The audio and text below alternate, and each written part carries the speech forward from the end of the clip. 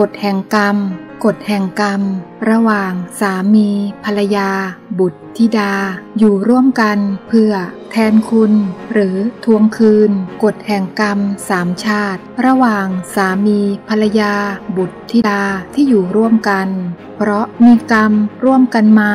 ถ้าไม่มีกรรมร่วมกันมาก็ไม่อาจอยู่รวมบ้านหลังเดียวกันได้ เราทุกคนรู้หรือไม่ว่า การที่เราเกิดมาพบเจอกันนั้น รู้จักกันเป็นเพื่อนกันเป็นพี่น้อง เป็นครอบครัว เป็นคนรักกัน ล้วนต้องเคย มีกรรมร่วมกันมา ไม่ว่าจะกรรมดี หรือกรรมชั่ว ถ้าไม่มีกรรมร่วมกันมา ก็ไม่อาจอยู่ร่วมบ้านหลังเดียวกันได้ หรือรู้จักกันได้ จากคำพีกฎแห่งกรรมสามชาติได้มีการบันทึกไว้ว่าหนึ่งสามีภรรยามีกรรมร่วมกันมา ไม่ว่าจะกรรมดี หรือกรรมชั่ว ถ้าไม่มีกรรมร่วมกันมา ก็ไม่อาจอยู่รวมบ้านหลังเดียวกันได้ สามีภรรยาที่มีการร่วมทำกรรมดี จะสมานสามัคคี รักใคร่กลมเกลียว ถือไม้เท้า ยอดทอง กระบอง ยอดเพชร สามีภรรยาที่มีการร่วมทำกรรม ชั่วมาแต่อดีตชาติ จะทะเลาะเบาแหวงบานแตกสแลกขาดไม่อาจอยู่ร่วมกันจนวันตาย 2. บุตรธิดา คือหนี้ไม่ว่าจะเป็นการทวงหนี้หรือชดใช้หนี้ไม่มีหนี้ไม่มาเกิดเป็นพ่อ แม่ ลูกกัน บุตรธิดาที่มาทวงหนี้จะเป็นบุตรที่ไม่เอาไหน เหยียบขี้ไก่ไม่ฟอทำให้พ่อแม่ทุกข์ใจ ไม่เว้นวัน บุตรธิดาที่มาใช้หนี้จะมีการสำรวม ระวัง รู้คุณ ทดแทนคุณ ไม่กล้าทำให้พ่อแม่ชอกช้ำใจ เราทุกคนเกิดมาต่างหนีไม่พ้น การพบ การพรากสุข ทุกข์ เศร้า อภัย แค้น รัก ชัง สิ่งเหล่านี้คือผลแห่งของกรรม ดังคำพูดที่ว่า ปลูกเหตุเช่นไร ยอมได้ ลิ้มผล เช่นนั้น ไม่ว่าจะเหตุใด หรือผลใดล้วนหนีไม่พ้นกฎแห่งกรรมทั้งสิ้น การที่เราเกิดมาพบกันนั้น ล้วนเกิดมาจากกรรมทั้งสิ้นหนึ่งมาแทนคุณ ด้วยบุญในอดีตที่ได้สั่งสมร่วมกันมา ด้วยพระคุณที่มีต่อกันมาในอดีตจึงทำให้ได้มาเกิดเป็นพ่อ แม่ ลูกหลานกัน เรียกบุตรธิดา เหล่านี้ว่า ลูกกตัญญูเกิดมาเพื่อ จะทดแทนคุณ จะเป็นเด็กดี ฉลาด เชื่อฟัง ไม่มีทางจะทำอะไรที่เสียหายให้พ่อแม่ต้องกรัดกรุ่มกังวลใจ 2. มาล้างแค้นด้วยกรรมในอดีตที่ได้สร้างร่วมกันมา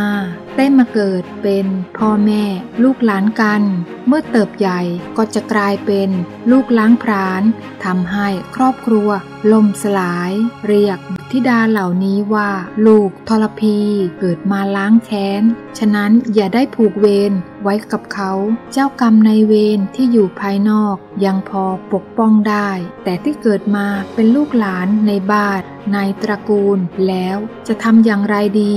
ฉะนั้นอย่าทำร้ายใคร อย่าฆ่าซึ่งกันและกัน เพราะต่างคนต่างก็รักตัว กลัวตายเช่นกัน 3. มาทวงหนี้ชาติก่อนผลหลัง พ่อแม่เป็นหนี้ไว้ ไม่ได้ชดใช้คืนหนี้ที่ว่า ในที่นี้คือหนี้เงิน ไม่ใช่หนี้ชีวิตเกิดมาเพื่อทวงหนี้คืน ถ้าหากเป็นหนี้กันน้อย เกิดมาให้ดูแล ปีสองปีเขาก็ตาย เป็นหนี้เท่าไหร่ เมื่อใช้หมดเขาก็จะไป ต่อให้คุณรักเขามากแค่ไหนก็ตาม เขาก็ไม่เคยใส่ใจคุณ ถ้าหากเป็นหนี้เยอะ เลี้ยงจนเติบใหญ่ จบมหาวิทยาลัย เรียนจบวันไหนก็ตายวันนั้น ไม่อยู่รับใช้เราเพราะเขามาทวงหนี้หมดแล้วหนี้หมดก็จากไป 4. มาใช้หนี้ชาติก่อนผลหลัง เขาเป็นหนี้พ่อแม่ไว้ ไม่ได้ชดใช้คืน เกิดมาในชาตินี้จึงต้องทำงานหาเงินเหน็ดเหนื่อย เพื่อเลี้ยงดูพ่อแม่ ถ้าหากเป็นหนี้มากก็ต้องเลี้ยงดูพ่อแม่เป็นอย่างดี ถ้าหากเป็นหนี้พ่อแม่น้อยก็เลี้ยงดูตามอัตภาพ เหมือนที่เราเคยพบเห็น เลี้ยงพ่อแม่ประหนึ่ง คนรับใช้ในบ้าน ราะต้องมาใช้นีกรรม ลูกประเภทนี้แม้จะเลี้ยงดูพ่อแม่ แต่ก็หล่อเลี้ยงแค่กาย ไม่หล่อเลี้ยงจิตใจ เลี้ยงดูโดยปราศจากความเคารพ และความกระตันยูซึ่งต่างจากบุตรที่เกิดมาเพื่อทดแทนคุณ ไม่เพียงแต่หล่อเลี้ยงกาย ยังหล่อเลี้ยงจิตใจบุพการีอีกด้วย หลักธรรมที่นำมาเสนอในข้อนี้ไม่ใช่เพียงแค่ลูกหลานเท่านั้น ยังรวมไปถึงญาติพี่น้อง คนรอบข้างที่เราได้รู้จักและเคยได้อยู่ร่วมกันมา เป็นเพราะกรรมที่ก่อกันมาหนักหนา หรือเบาบาง หากบุญคุณ ความเครียดแค้น ความแค้นหนักหนา ก็เกิดมาเป็นสามีภรรยาและลูกหลานพี่น้อง หากบุญคุณ ความแค้นเบาบางก็เกิดมาเป็นญาติสนิทมิตรสหาย ยกตัวอย่างเช่น เราเดินซื้อของในตลาดอยู่ๆ คนแปลกหน้าก็มายิ้มให้เรา และเราก็ยิ้มต่อ ล้วนเป็นบุญกรรม แต่ชาติปังก่อน แต่ถ้าหากเรารู้สึกขัดหูขัดตา แถมไม่พอใจ ฝ่ายตรงข้าม นี่ก็ล้วนเป็นบุญกรรม แต่ชาติปังก่อน วิธีแก้ไข หากเราและลูกหลานผูกกรรมที่ไม่ดีต่อกันมาแต่ปางก่อน แก้ไขได้โดยวิธีต่อไปนี้ให้นำพาลูกหลานเข้าวัดหมั่นบำเพ็ญปฏิบัติธรรม ศึกษาพระธรรม เมื่อต่างฝ่ายต่างศึกษาธรรม ยอมแปรกรรมร้ายให้กลายเป็นกรรมดีได้ ย่อมคลายความจองจำขับแค้นให้สลายคลายลงได้ แบบที่เราเรียกว่าเปลี่ยนแปลง ชะตาชีวิตเปลี่ยนร้าย กลายเป็นดี เมื่อเราได้เข้าใจกฎแห่งกรรมเหล่านี้แล้ว เพื่อจะได้ไม่ผูกกรรมด้านดำเพิ่ม และมันสร้างกรรมดี ให้กันและกัน อย่างไรก็ตาม เมื่อเราทั้งหลายได้ทราบกฎแห่งกรรมของการเกิดมาอยู่ร่วมกัน ระหว่าง สามีภรรยา บุตรธิดาแล้วก็ควรหมั่นสร้างกรรมดีร่วมกัน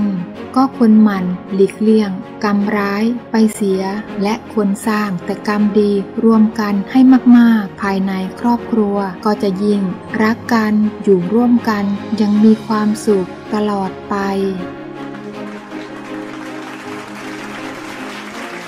ส่งต่อแชร์ให้กับเพื่อนๆ คนที่รักและห่วงใยด้วยนะคะ เพราะความสุขที่ยิ่งใหญ่คือการให้ ขอทุกท่านสุขภาพดี แข็งแรง ขอทุกท่านร่ำรวยเงินทอง เจริญก้าวหน้ายิ่งยิ่งขึ้น สุขกายสุขใจตลอดไปค่ะ